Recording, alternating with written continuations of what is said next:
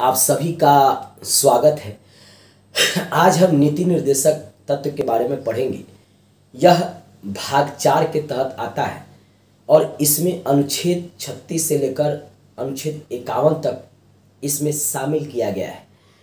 पहले तो यह जानिए कि नीति निर्देशक कहाँ से लिया गया है। देखिए, नीति निर्देशक तत्व को आयरलैंड के संविधान से लिया गया है और इसे कानूनी अधिकार नहीं है।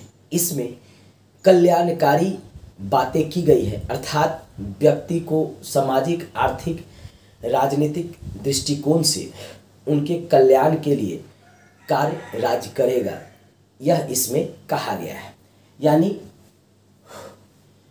इसके तहत अनुच्छेद छत्तीस से इक्यावन तक में आता है और इसके तहत यह भाग चार में रखा गया है। इसको आयरलैंड के संविधान से लिया गया तथा नीति निर्देशक तत्व को लागू करवाने के लिए हम किसी न्यायालय में नहीं जा सकते हैं। अर्थात इसको कानूनी अधिकार नहीं है। यानी कानूनी अधिकार लागू कराने संबंधित नहीं है। यानी अगर नीति निर्देशक तत्व में जो कहा गया है, अगर राज्य उसको लागू नहीं करता है तो हम उसे लागू करवाने के लिए अनुच्छेद बत्तीस में जो कहा गया है, मूल अधिकार का अगर हनन होता है तो हम हाई कोर्ट में जा सकते हैं। और अनुच्छेद 226 के तहत कहा गया है कि मूल अधिकार का हनन होता है तो हम हाई कोर्ट में जा सकते हैं। यानी अनुच्छेद बत्तीस के तहत हम सुप्रीम कोर्ट, यानी उच्चतम न्यायालय उच्चतम न्यायालय में जा सकते हैं। और अनुच्छेद 226 के तहत हाई कोर्ट यानी उच्च न्यायालय में जा सकते हैं। परंतु यहाँ इसको लागू करवाने के लिए, अर्थात नीति निर्देशक तत्व को लागू करवाने के लिए हम किसी न्यायालय में नहीं जा सकते हैं। यह आयरलैंड के संविधान से लिया गया है।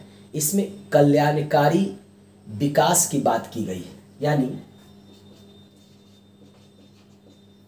कल्याणकारी विकास, कल्याणकारी विकास का अर्थ है कि व्यक्ति को सामाजिक, आर्थिक, राजनीति दृष्टि से समान अधिकार यानी किसी भी व्यक्ति के साथ जाति, लिंग, धर्म आदि के आधार पर यहाँ भी भेदभाव नहीं किया जा सकता है। अब हम एक एक अनुच्छेद को इसके तहत देखेंगे। अनुच्छेद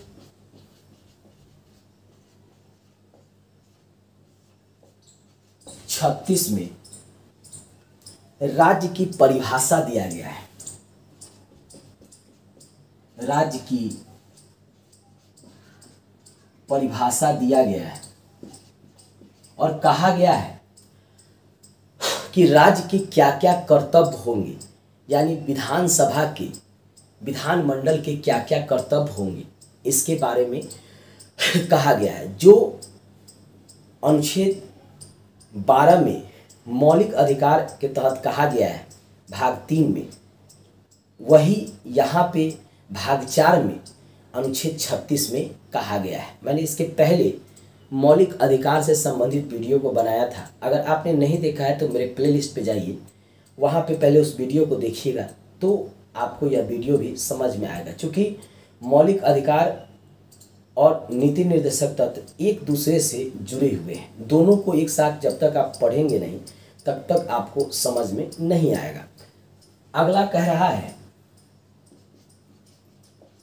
अनुच्छेद थर्टी सेवन इसमें कह रहा है कि विधि के समान, विधि के समक सभी को समान अधिकार दिया जाएगा। यानी राज्य ऐसी व्यवस्था करेगा ताकि विधि के समक्ष सभी को समान अधिकार मिले। यानी राज्य को कहा गया है कि आप ऐसी व्यवस्था कीजिए ताकि सभी को समान अधिकार मिल सके। किसी के साथ आय, संपत्ति धन, लिंग, जाति के आधार पर भेदभाव न किया जा सके। यानी अगर कोई कानून तोड़ता है और उसी तरह का कानून दूसरा व्यक्ति तोड़ता है तो दोनों व्यक्ति को एक ही प्रकार की सजा दी जाएगी, न कि अलग अलग सजा दी जाएगी। यही अनुच्छेद 37 में कहता है। आइए अब आगे भी कुछ अनुच्छेद को देखते हैं।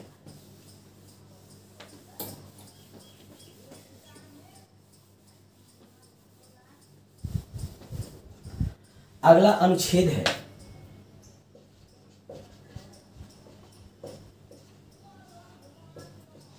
अनुच्छेद अड़तीस। इसमें कहा गया है कि सभी व्यक्ति को कानून के समान, कानून के समक्ष समान अधिकार दिया जाएगा।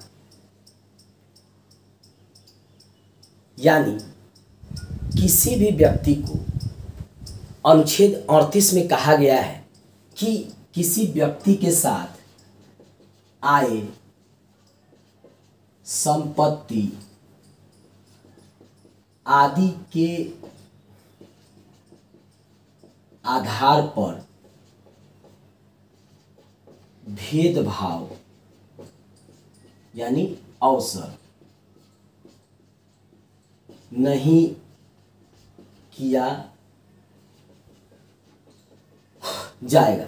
अनुच्छेद अड़तीस कहता है कि राज्य जो है, सामाजिक, आर्थिक, राजनीतिक आधार पर किसी के साथ भेदभाव नहीं करेगा। न आय के आधार पर करेगा, न संपत्ति के आधार पर करेगा, न लिंग, न जन्म, न धर्म के आधार पर सभी को समान अधिकार दिया जाएगा। अनुच्छेद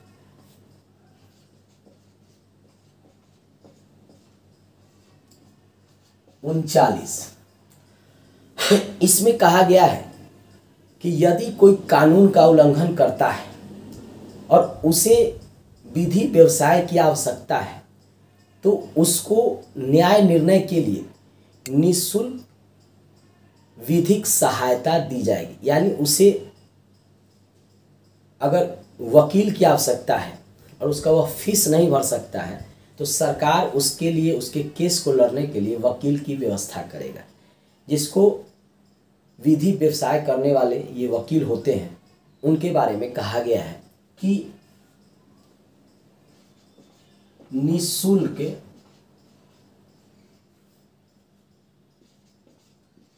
विधि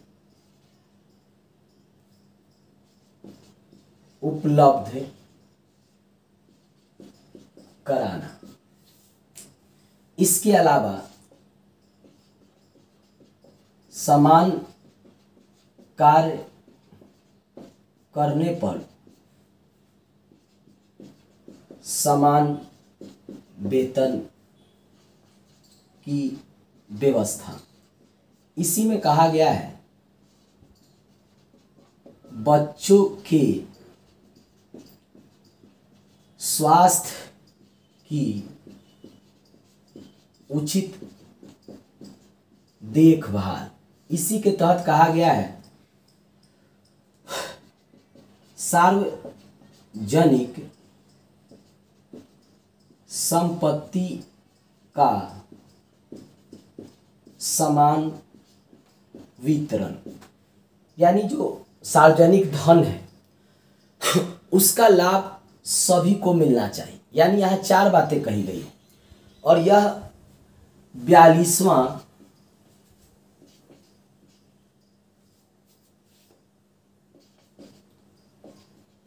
संविधान संशोधन उन्नीस सौ छिहत्तर के तहत कहा गया कि इसमें जोड़ा गया है और इसमें कहा गया कि निशुल्क विधि की सुरक्षा, यानी कानूनी सहायता दी जाएगी। यहाँ विधि उपलब्ध कराने का अर्थ है कानूनी सहायता। ठीक है? दूसरे में कहा गया है कि समान कार्य के लिए समान वेतन दिया जाएगा। ऐसा नहीं है कि महिला पुरुष अगर एक ही काम कर रहे हैं तो उनको हम अलग अलग वेतन देंगे। यह नहीं होना चाहिए। तीसरा में कहा गया है कि बच्चों के स्वास्थ्य के लिए राज्य जो है, उचित प्रबंध करेगा। और चौथा कहा गया है कि सार्वजनिक संपत्ति जो है, यानी सार्वजनिक जो धन है, उसका समान वितरण होना चाहिए, यानी लोगों के कल्याण के लिए होना चाहिए। न कि जाति, धर्म, लिंग के आधार पर अंतर करके उसका उपयोग होना चाहिए। ये बात अनुच्छेद उनचालीस में कहा गया है।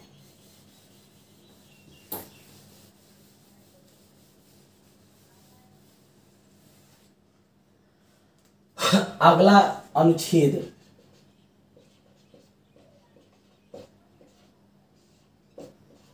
चालीस है। इसमें पंचायती राज के गठन की बात की गई है कि राज्य जो है, राज्य पंचायत का गठन करेगा। आप भी जानते हैं कि पंचायत ग्रामीण विकास में काफ़ी सहायता करता है। यानी लोकल एडमिनिस्ट्रेशन, लोकल प्रशासन को पंचायत के तहत ही देखा जाता है। यहाँ कहा गया है कि प्रत्येक राज्य अपने यहाँ लोकल प्रशासन के विकास के लिए पंचायत की व्यवस्था करेगा तथा उनको उचित सहायता देगा। यानी उनके लिए वित्त जो है प्रबंध कराएगा। राज्य वित्त आयोग जो है, उनके लिए वित्त का प्रबंध करता है, क्योंकि वहाँ भी चुनाव होता है पाँच साल के लिए। जब हम पंचायत पढ़ाएँगे तो डिटेल में पढ़ाएँगे, यहाँ केवल यह जान लीजिए कि अनुच्छेद में क्या कहा गया है। अगला अनुच्छेद है।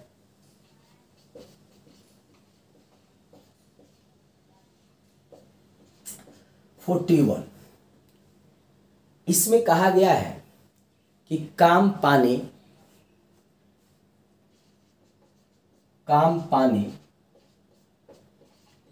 शिक्षा पाने, इसके अलावा लोक कल्याणकारी कार्य, अर्थात बीमार व्यक्ति को सहायता करना, बूढ़े व्यक्ति को सहायता करना, राज्य का कर्तव्य है। इसमें कहा गया है कि प्रत्येक व्यक्ति को काम पाने का अधिकार है, शिक्षा पाने का अधिकार है।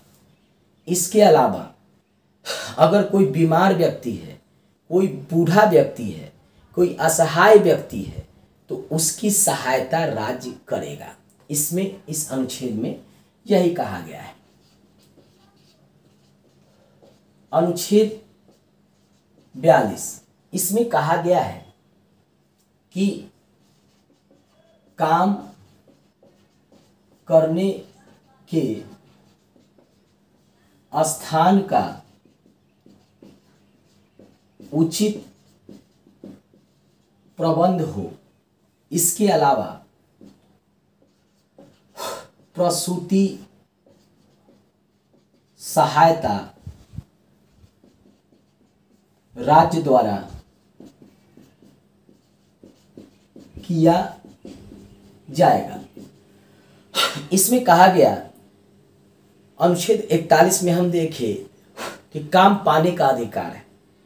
अब इस अनुच्छेद 42 में कहा गया कि काम जहाँ वह व्यक्ति करेगा, वहाँ पर उसके स्वास्थ्य को देखते हुए वहाँ उचित व्यवस्था हो, ताकि किसी प्रकार का अप्रिय घटना न घटे, उसके जान माल की हानि न हो।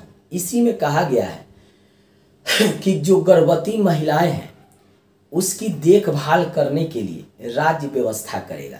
इसीलिए आप देखते हैं कि आंगनबाड़ी केंद्र जो है, जो गर्भवती महिलाएँ हैं, उनके पोषण की व्यवस्था करता है और उसको जो है राज्य जो है धन यानी फंडिंग उपलब्ध कराता है। ये बात अनुच्छेद बयालीस में कहा गया। अनुच्छेद तैतालीस। इसमें कहा गया कि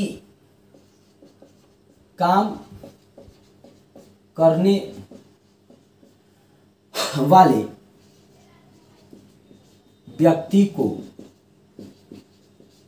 उचित वेतन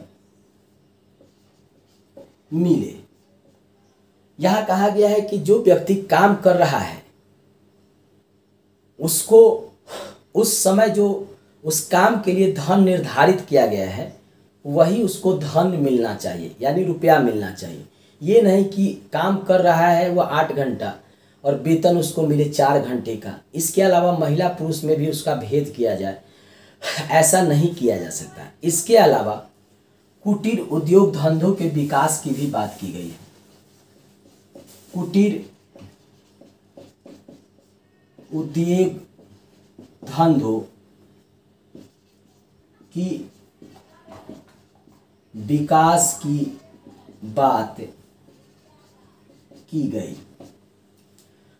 यहाँ कहा गया कि ग्रामीण क्षेत्र में जो कुटीर उद्योग हैं छोटे छोटे कल कारखाने हैं, उनके विकास के लिए भी राज्य काम करेगा। छेद तैतालीस हम लोग जान लिए। अब हम अनुच्छेद चौवालीस के बारे में जानते हैं। अनुच्छेद चौवालीस में यह कहा गया है कि एक समान सिविल संहिता की व्यवस्था राज्य करेगा। राज्य एक समान सिविल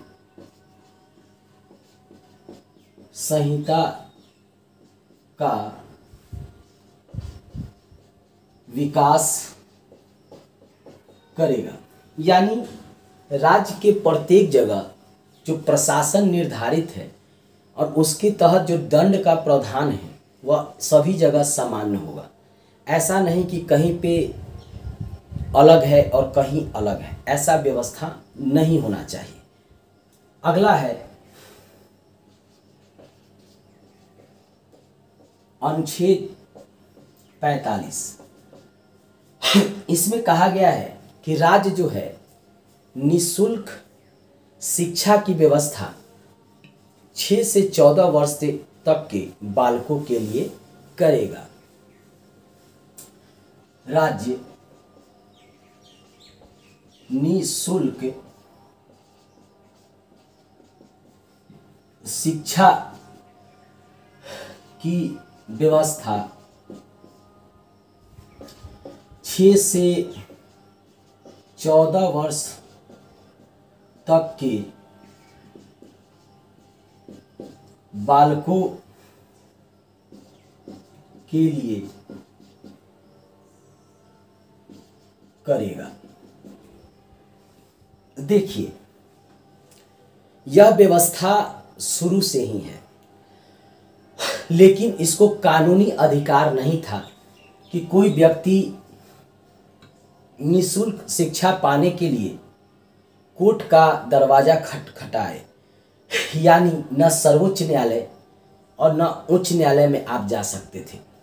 बाद में छियासठवा संविधान संशोधन 2002 में किया गया और अनुच्छेद 21 ए में मौलिक अधिकार के तहत यही व्यवस्था, यानी छः से 14 वर्ष तक के बच्चों को निशुल्क शिक्षा की व्यवस्था राज्य करेगा यह प्रावधान किया गया।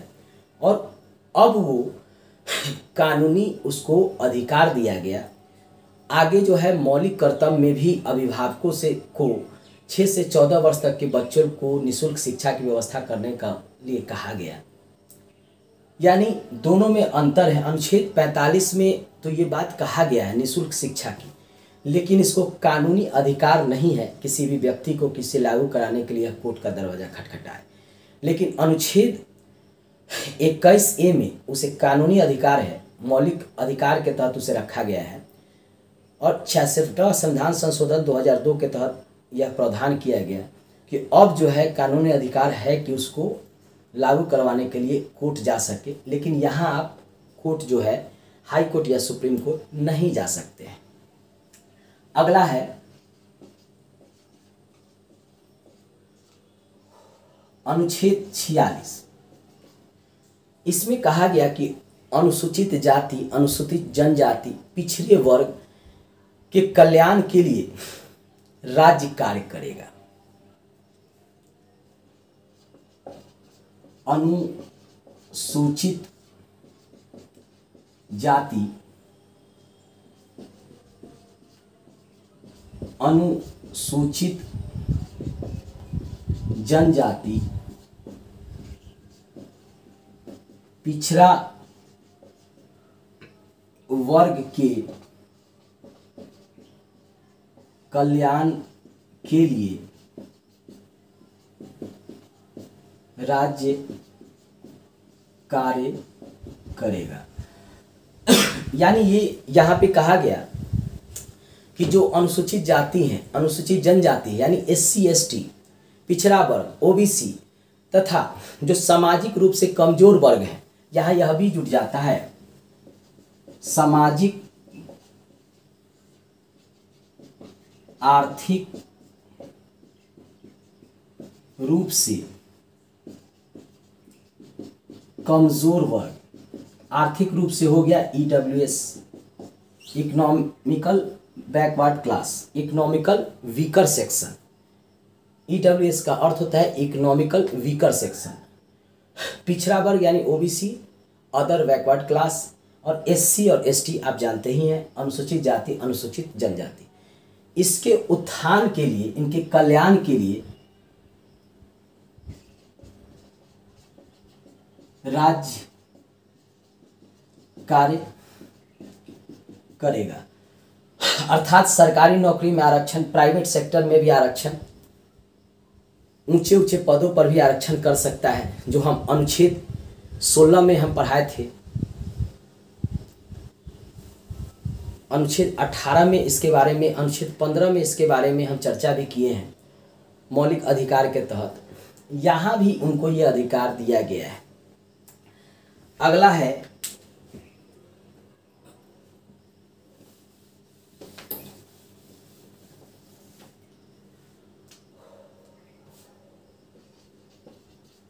अनुच्छेद सैतालीस। इसमें मानक द्रव नशीले दबाव, मादक पेय पदार्थ, जो व्यक्ति के लिए हानिकारक हो, ड्रग्स यानी दवा पर प्रतिबंध करने का अधिकार है। इसीलिए इसी का उपयोग कर नीतीश कुमार ने शराब को बंद कर दिया बिहार में, ठीक है? इसी अनुच्छेद का उपयोग किया गया। इसमें मादक द्रव्य, ड्रग्स, हानिकारक पदार्थ पर प्रतिबंध लगाने का अधिकार राज्य को दिया गया। कहा गया कि राज्य को अधिकार है कि जो मादक द्रव्य है पेय पदार्थ है, दवा है, ड्रग्स है, शराब है, जितने भी गुटखा है, पान मसाला है, सिगरेट है खैनी है। उन सभी को राज्य जो है, व्यक्ति के हित में न देखते हुए प्रतिबंध लगा सकता है, जुर्माना लगा सकता है, सजा दिया जा सकता है, यह प्रावधान राज्य कर सकता है। अगला अनुच्छेद है।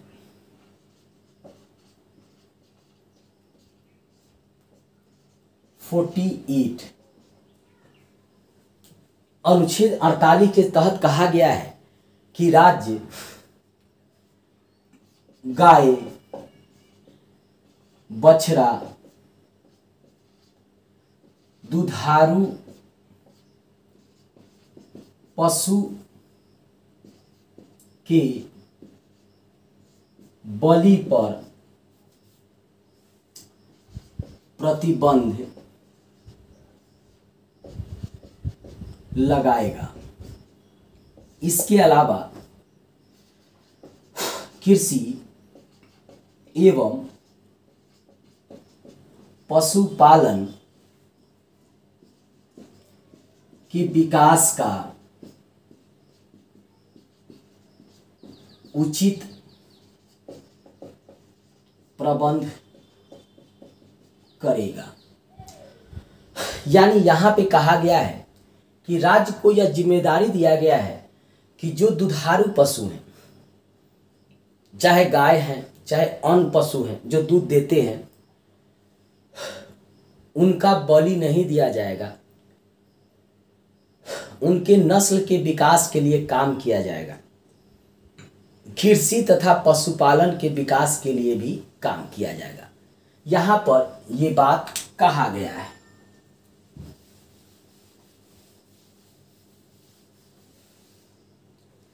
अगला है।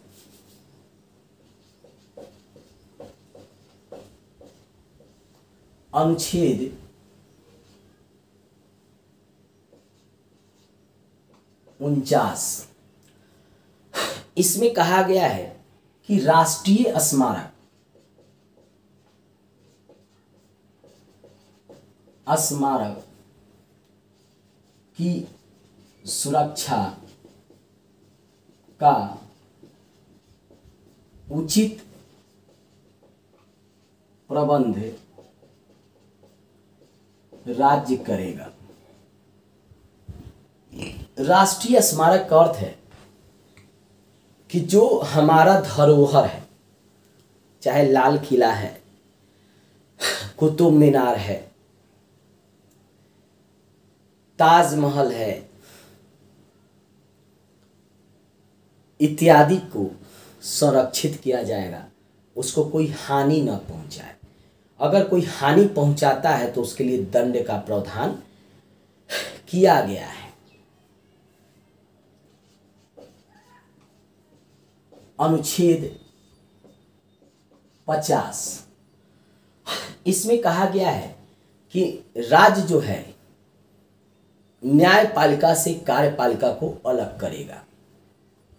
अर्थात न्यायपालिका से, कार्यपालिका को अलग करना। यानी यहाँ न्यायपालिका का अलग काम होगा और कार्यपालिका का अलग काम होगा। ऐसा नहीं है कि दोनों जो है एक दूसरे के कामों में दखलंदाजी करेंगे ज़्यादा। इसके लिए अलग अलग व्यवस्था की बात की गई। लेकिन जब कार्यपालिका ऐसा काम करता है, जो न्याय उचित नहीं है, तब न्यायपालिका जो है उसमें हस्तक्षेप ज़रूर करता है। लेकिन यहाँ अलग करने की बात की गई है। अगला है, अनुच्छेद 51 इक्यावन। इसमें कहा गया है कि अंतर्राष्ट्रीय संबंधों अंतर्राष्ट्रीय विवादों आदि का शांतिपूर्ण समाधान करना, अंतर्राष्ट्रीय जो समझौते हुए हैं, उसको लागू करना यह राज्य का कर्तव्य होगा। अंतर्राष्ट्रीय समझौतों